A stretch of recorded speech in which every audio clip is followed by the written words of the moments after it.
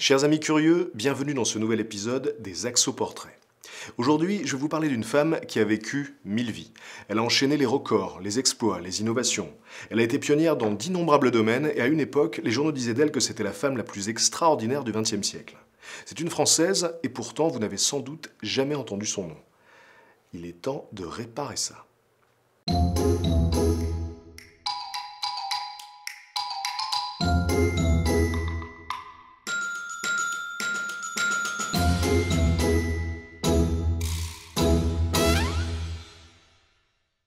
Marie Marvin est née le 20 février 1875 à Aurillac, dans le Cantal. Très vite, son père lui transmet la passion du sport et dès l'âge de 5 ans, elle est capable de nager sur 4 km. Un exploit qui sera le premier d'une très très longue série. En 1890, âgée de 15 ans seulement, elle parcourt 400 km en canoë pour allier Nancy à Coblence en Allemagne. En 1906, elle traverse Paris à la nage, puis comme elle a envie de voir le Vésuve en éruption, elle va de Nancy à Naples en vélo. La même année, elle crée la première école de ski civil en France. Animée d'une véritable frénésie sportive, Marie s'illustre dans toutes les disciplines possibles. Athlétisme, boxe, escrime, tennis, bobsleigh, équitation et même jujitsu pour n'en citer qu'une partie. Sans compter qu'elle a aussi suivi une formation au cirque de Drancy où elle a appris entre autres le trapèze, le jonglage et le funambulisme. À une époque où de nombreux sports sont encore interdits aux femmes, elle décide de défier les conventions sociales, ce qui va faire d'elle une pionnière dans de nombreux domaines. En 1907, elle se classe première d'une compétition internationale de tir et elle devient la première femme à recevoir les palmes de premier tireur par le ministre de la Guerre lui-même. En 1908, elle veut participer au Tour de France, mais les organisateurs rejettent sa candidature car la compétition est uniquement ouverte aux hommes. Qu'à cela ne tienne, elle décide de courir malgré tout de façon non officielle en partant après les autres participants. Et elle devient la première femme à boucler le Tour de France, faisant partie des 36 coureurs sur 110 à atteindre l'arrivée.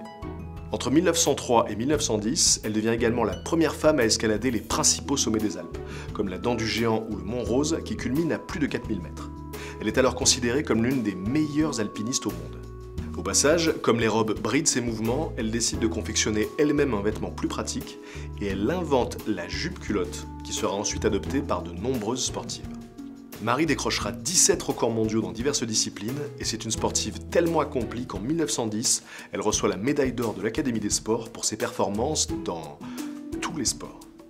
À son sujet, un journaliste de l'époque écrira Il n'y a sûrement pas une femme au monde qui possède un bagage sportif aussi universel que celui que possède mademoiselle Marvin. Et je ne voudrais pas garantir qu'il existe un seul représentant du sexe mâle qui en est un semblable. Mais Marie n'est pas qu'une athlète exceptionnelle. C'est aussi une femme d'une remarquable intelligence dont la curiosité n'a pas de limite. Elle dessine, peint, sculpte, écrit, chante et entre deux exploits sportifs, elle obtient une licence de lettres puis un diplôme d'infirmière. Elle s'intéresse également à tous les progrès technologiques de son époque et fait partie des premières femmes à obtenir son permis de conduire en 1899. Par la suite, elle apprendra aussi à conduire une locomotive et un bateau à vapeur. Mais le plus étonnant dans tout ça, c'est que malgré tous ces accomplissements qui suffiraient déjà à remplir plusieurs vies, je ne vous ai pas encore parlé de la véritable passion de Marie, l'aéronautique.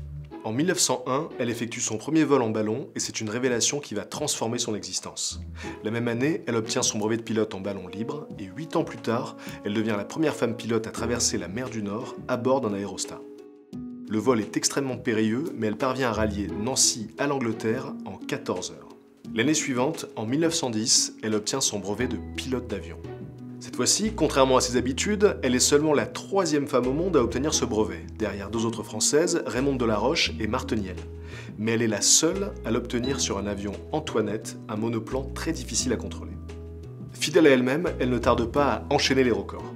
Elle réalise notamment plus de 900 vols sans accident, ce qui est d'autant plus impressionnant qu'à l'époque, l'aviation en est encore à ses balbutiements et chaque vol reste dangereux. En 1913, elle subit tout de même un violent crash auquel elle survit de justesse avant de repartir de plus belle. Ses exploits d'aviatrice lui valent de nombreux surnoms dans la presse, comme Marie Cascou, la reine de l'air ou la fiancée du danger. C'est ce dernier qui lui collera à la peau. Au-delà du plaisir et du sentiment de liberté que lui procurent ses vols, Marie est convaincue que l'aviation a une fonction humanitaire à remplir.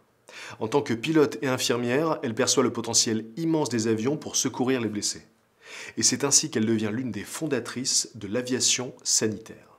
En 1910, elle conçoit le premier prototype d'avion ambulance avec l'aide d'un ingénieur. Malheureusement, l'entreprise chargée de la fabrication fait faillite, mais l'idée de Marie fait son chemin au sein de l'état-major français et l'aviation sanitaire permettra de sauver des milliers de vies au cours des années suivantes. Quand la Première Guerre mondiale éclate, Marie veut prendre part aux batailles, mais son statut de femme l'en empêche. Évidemment, il en faut plus que ça pour la décourager.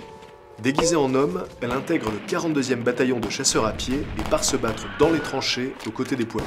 Finalement démasquée, elle est autorisée à rester sur le front en tant qu'infirmière et elle rejoint un bataillon de chasseurs alpins dans les Dolomites où elle évacue les blessés par ski. En tant qu'aviatrice, elle participe aussi à des opérations de bombardement et devient la première femme au monde à s'engager dans l'aviation militaire et à effectuer des combats aériens. En 1915, elle obtiendra même la Croix de guerre pour avoir attaqué une base ennemie. Durant l'entre-deux-guerres, l'hyperactivité de Marie ne s'arrête pas. Elle devient journaliste, conférencière et à la demande du gouvernement français, elle crée le premier service d'aviation sanitaire au Maroc.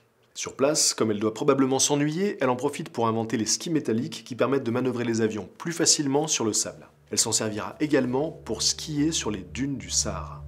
Elle parcourt ensuite l'Afrique, puis les États-Unis et donne des milliers de conférences à travers le monde pour promouvoir les bienfaits de l'aviation sanitaire. Sur le sujet, elle écrit et réalise aussi deux documentaires intitulés Les ailes qui sauvent et Sauvée par la colombe. Quand la Deuxième Guerre mondiale commence, Marie a 64 ans, mais elle est toujours aussi impliquée. Pour soigner les pilotes blessés au combat, elle crée un centre de convalescence qu'elle nomme le repos des ailes. Elle y officie en tant qu'infirmière de l'air, une discipline pour laquelle elle est d'ailleurs la première personne à avoir été diplômée, et elle invente même un nouveau type de point de suture. Pour toutes ses contributions au bien d'autrui et pour ses accomplissements en général, Marie a reçu de très nombreuses distinctions au cours de sa vie, comme la Légion d'honneur, la médaille de la paix du Maroc ou encore l'insigne de chevalier dans l'ordre de la santé publique. Avec 34 décorations au total, c'est même la femme la plus décorée de l'histoire de France. Et en 1949, elle décroche également un prix littéraire international pour ses deux livres autobiographiques, La fiancée du danger et Ma traversée de la mer du Nord en ballon. En 1955, Marie a 80 ans et on pourrait penser qu'à cet âge honorable, sa soif de sensations fortes s'est calmée. Mais ce serait mal connaître Marie Marvin. Le 20 février, jour de son anniversaire, elle survole Nancy à bord d'un avion de chasse piloté par un officier de l'US Air Force. La même année, elle passe son brevet d'hélicoptère, devenant au passage la première femme à obtenir 4 brevets de pilote. Avion, hydravion, hélicoptère et ballon. Et elle ne s'arrête pas là en 1961, alors âgée de 86 ans, elle effectue le trajet Nancy-Paris aller-retour en bicyclette. Deux ans plus tard, le 14 décembre 1963, Marie s'éteint dans un hospice près de Nancy. Et malgré une vie entière d'exploits, de décoration et de dévouement aux autres, elle meurt dans un relatif anonymat, elle que le Chicago Tribune avait décrit comme la femme la plus incroyable depuis Jeanne d'Arc. De sa gloire passée, il reste aujourd'hui quelques bâtiments publics et quelques rues à son nom. Mais son véritable héritage est bien plus grand. En dépassant les barrières sociales de son époque, elle a ouvert la voie à des milliers de femmes, aussi bien dans le sport que dans le reste. Et comme le dit sa biographe Rosalie Maggio, elle ne l'a pas forcément fait consciemment, mais simplement parce qu'elle en avait envie. Toute sa vie, Marie Marvin s'est finalement contentée d'appliquer sa devise. Je décide de faire mieux, encore et toujours.